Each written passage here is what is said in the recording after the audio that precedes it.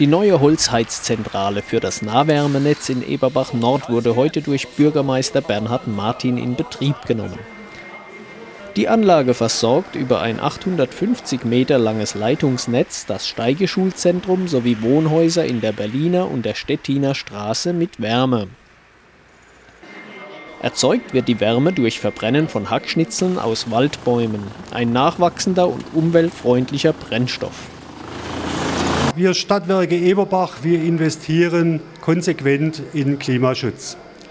Wir machen mit dieser Anlage hier, dieser Holzhackschnitzelanlage, eine CO2-Einsparung von rund und rot 1000 Tonnen pro Jahr. 800 Kilowatt Leistung hat der Heizkessel. Angeschlossen ist ein Wärmespeicher mit 100.000 Litern Wasser. Der Gesamtwärmebedarf im Netz wird auf 4 Millionen Kilowattstunden pro Jahr geschätzt. 7000 Kubikmeter Hackschnitzel sind dafür erforderlich. Damit die Rauchgase aus dem Schornstein möglichst sauber sind, wird ein Elektrofilter eingesetzt.